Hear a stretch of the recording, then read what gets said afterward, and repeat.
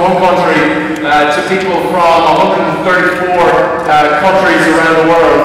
Um, so we're so incredibly excited. We've got about double the number of attendees that we had uh, last year. Uh, and over the next three days, over 40,000 people will file through the doors of the Web Summit and get to enjoy all of our fantastic speakers. Um, and I think most importantly, uh, for me anyway, and I think for many of you, it's an opportunity to be among people of shared interests and shared passions that are trying to build things and trying to change things. And that's an incredibly thrilling thing, and I hope you embrace the next few days here inside the Web Summit. And then I also hope you embrace a very key component of the Web Summit, which is leaving here at 5 p.m.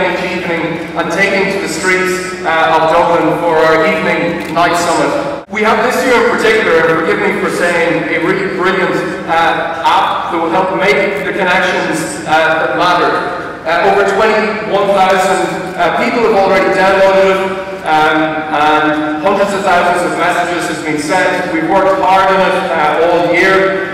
It provides you with incredible power and very personalized recommendations. So if you connect Twitter, if you connect Facebook, you decide to connect any other social networks, it will give you incredibly personalized recommendations, not just on the talks that you might like, and there are so many talks um, that the app enables you to really pinpoint those that might be of most interest. After your three days and four nights in Dublin, and we ask you, what did you ultimately get out of the Web Summit?